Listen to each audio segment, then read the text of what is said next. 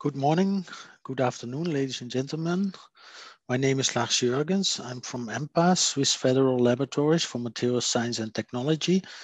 And I'm uh, really happy to present our recent work on chemical state analysis by lab-based XPS HAXPES using the newly installed Quantes system. I would like to acknowledge the contribution of Claudia Cancellieri and Fabio Lamattina to this work. So before I uh, present uh, the chemical state analysis results using the Quantes, I will give a rather long introduction on chemical state analysis since it is needed to understand our approach. If we consider the photoemission process, um, we have the energy of the initial system with n electrons plus the energy of the incoming photon and we measure the kinetic energy of the outgoing photoelectron and uh, we have the energy of the final uh, of the system in its final state and minus one electrons. And it's important to realize that the binding energy we measure with XPS with respect to the vacuum level here is the diff is a difference between the initial and the final state of the system. And this implies that we cannot consider the system as frozen during the photoemission process because if we create a core hole in the photoemission process, the surrounding electrons will try to screen this and this polarization or the screening energy will be partly um, given to the outgoing photoelectron and uh, part of its kinetic energy is in, in that sense also determined by this final state relaxation effects. If we, if we substitute these two equations, we end up with the well-known equation where of the binding energy with respect to the Fermi level, since the spectrometer is coupled to the sample electrically. So we can now consider the chemical state analysis by core level shifts, which is illustrated here for the oxidation of aluminum. So before oxidation, we have aluminum in the metal. And when we oxidize, a thin oxide film grows on top and we see a different chemical state of aluminum associated with aluminum surrounded by oxygen in the oxide. And the difference between these peak positions is the is the chemical shift, core level shift. As shown by Wagner and reviewed by Moretti later on, the core level shift between these two different states has two contributions, an initial state and a final state con contribution. The initial state contribution arises from the different difference in ground state energy between aluminum in the metal and aluminum in the oxide, whereas the final state contribution arises mainly from the relaxation of valence shell electrons uh, trying to screen the core hole in the photoemission process. So this is related to the electronic polarizability of the media. If we now use these core level shifts for chemical state analysis, we have some problems as shown here. Um, here I plotted uh, on the left the aluminum 2p binding energy for different aluminum compounds and on the right side the titanium 2p binding energy for different titanium compounds. We can see that the core level shift can clearly distinguish between different compounds.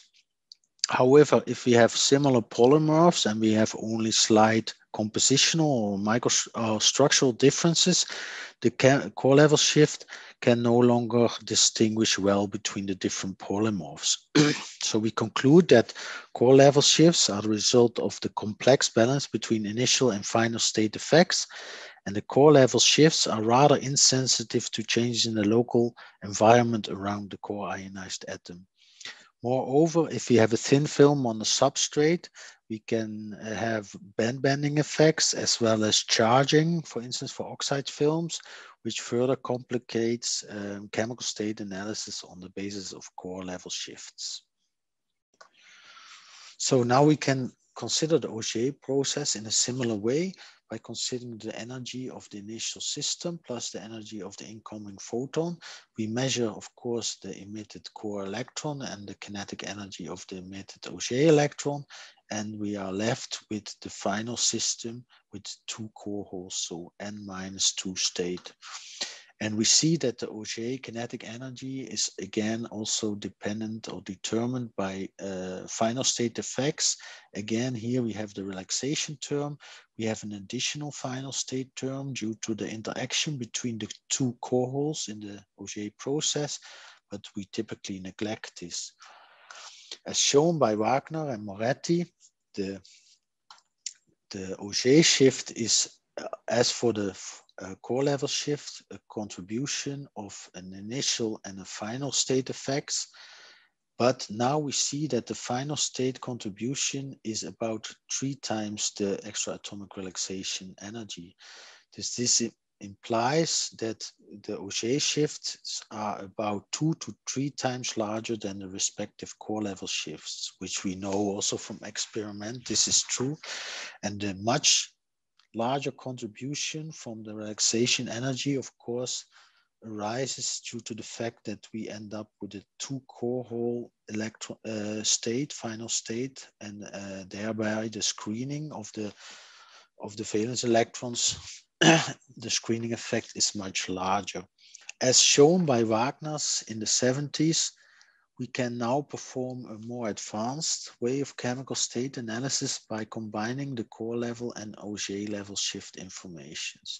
So uh, Wagner introduced the so-called Auger parameter shift, which is the difference in the binding energy of the photoelectron line and the kinetic energy of the corresponding Auger transition. And by summing up these two terms, we can show that this Auger parameter shift is equal to two times the exatomic relaxation energy. And this implies that the Auger parameter is only sensitive to final state effects and the initial state effects have cancelled out. And why is this so interesting? Because this extra atomic relaxation factor is very sensitive to changes in the local chemical environment of the atoms in the compound. So that means we have a very sensitive probe to measure tiny changes in composition or structure, which uh, is not possible when using core level shifts. Moreover, the Auger parameter considers an energy difference between an Auger and a photoelectron line and is therefore not affected by shifts of the Fermi level due to charging and band bending effects, which is also a huge uh, advantage.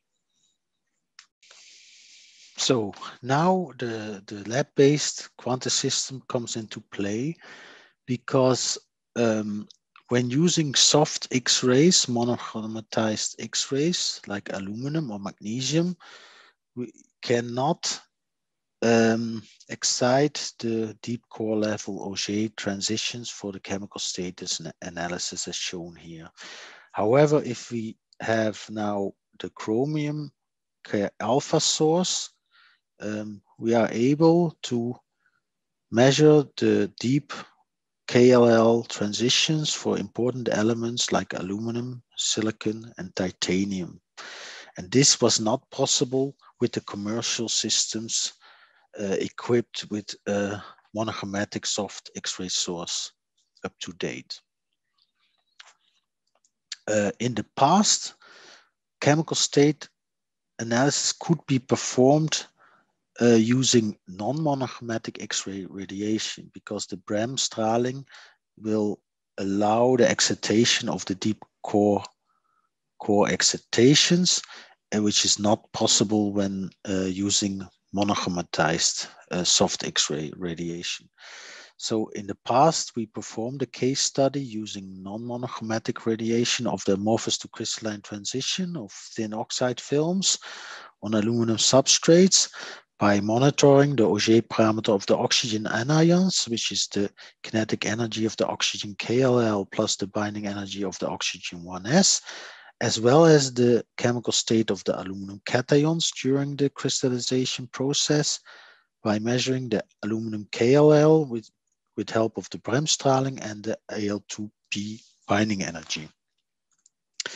And here you see some results of this analysis where we plot on the left side.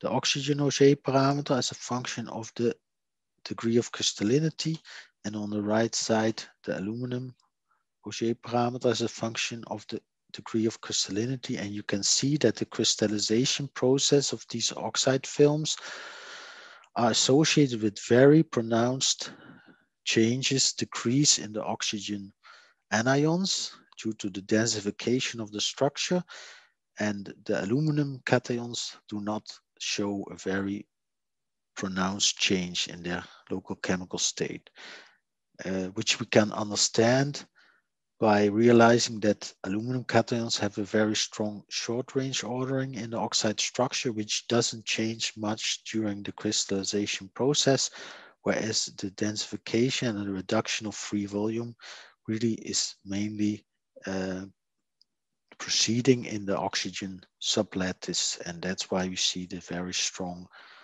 change in the oxygen Auger parameter. We were even able to relate the shift of the Auger parameter of oxygen to the change in the local electronic polarizability as shown here. So we have the local electronic polarizability around core ionized oxygen atoms as a function of the oxidation temperature. And we studied the crystallization of the amorphous films on two different substrates, 100 and 111. And we can see that with such a concept, we were able to show that the amorphous film transforms into a crystalline film at much lower temperatures on the 100 and thus the amorphous oxide is intrinsically much more stable on the more densely packed 111 surface. So here the Quantes comes into play because uh, the Quantes is equipped with a soft and a hard X-ray source so we can not only probe much deeper, as most of you know, but the use of the chromium source also allows access to deep core level photoelectron lines and core level Auger transitions for advanced chemical state analysis. Of course, we need to consider uh, some energy calibration issues when combining soft and hard X-ray sources for chemical state analysis. Um, as described in a recent paper by us, we propose that for uh, chemical state studies of uh, oxygen containing compounds, you could use the oxygen KLL line, which can be measured with both sources for alignment of the uh, energy scales of both the sources. Other, configure, uh, other uh, considerations for uh, energy scale calibration are also given in this paper, so I recommend you to have a look at that. Another thing we, which we need to consider for the chemical state analysis using two different uh, X-ray sources is the, the probing depth. Since um, if the oxide films have a gradient in the chemical state, then of course, if we probe the Auger line and the photoelectron line at a dip, different depth, then we would have an error in the analysis. So this is uh, shown here uh, for the uh, analysis of um, uh, chemical state analysis of titanium oxide films. So on the left side, we have the possible um, lines for the oxygen um, Auger parameter analysis. On the right side, the, the lines for the cation Auger parameter analysis. And here we have plotted the probing depth of each of these lines as measured with the different sources. We see here on the right side that um, of course, the oxygen KLL line we can measure with both sources, which can be used to calibrate the energy scale, as I previously mentioned. And then we see that the oxygen 1s we can probe with the soft or the hard X-ray source. And if we probe with the hard X-ray source, we would probe much deeper.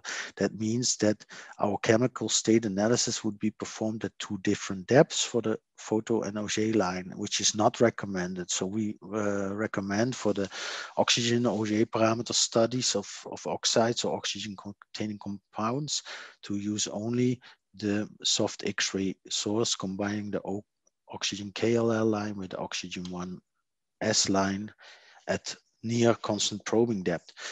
For the combination or for the study of the titanium states, we have uh, we really require the hard X-ray source to measure the deep core uh, transitions, the, especially the titanium KLL. And you see that if you want to perform chemical state analysis of the cations at more or less constant probing depth, we, we need to combine the titanium KLL line with the titanium 2P or 2S as measured also with chromium source. So now I come to the latest results with our Quantes system on the chemical state analysis of tin oxide films.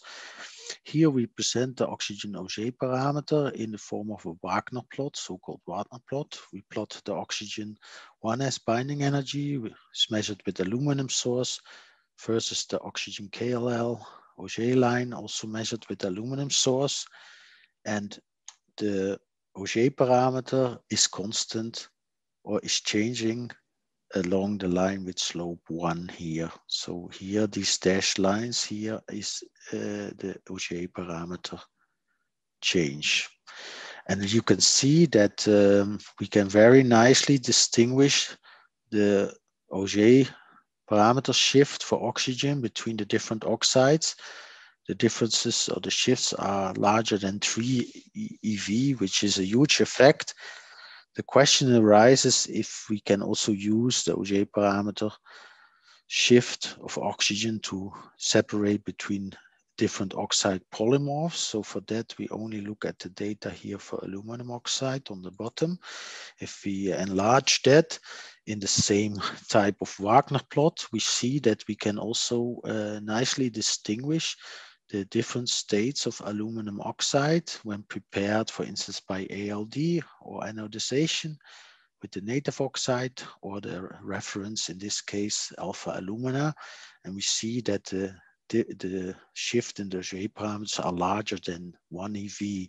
And typically, the Auger parameter can be resolved within 0.1 EV accuracy. So these changes are really relevant. And this means that uh, we can distinguish between different oxide polymorphs, which allows also studying of compositional and structural changes in complex oxide films. How about the oxygen or the, the cation uh, Auger parameter? Here we plot the cation Auger parameter in a Wagner plot. So we have the aluminum 2P line measured with the aluminum source measure, uh, plotted against the aluminum KLL line measured with the chromium source. And we see also that we can dis uh, distinguish different local environments of aluminum in these oxide films grown by different synthesis methods. And the shift in the Auger parameter is larger than 0.7 EV. And um, this also shows that we can probe very nicely the local chemical state of the cations and not only of the anions when using the Quantes system. So with this, I'm at the end of my talk and I would only like to give you a few take-home messages. So it is well advertised that lab-based HAXPES systems allow investigations of the chemistry and electronic structure of thin films and their buried interfaces. But as shown in this talk, HAXPES also allows access to deep core level and deep Auger lines, which uh, for advanced chemical state studies based on the Auger parameter. The chemical state studies of, uh, of oxides or nitrides can be performed at constant depth using a combination of hard and soft X-ray sources uh, by smart selection of the line combinations and uh, possible variations in the detection angle. So with this, I thank you for your attention and I'm open to answer your questions later on. Thank you.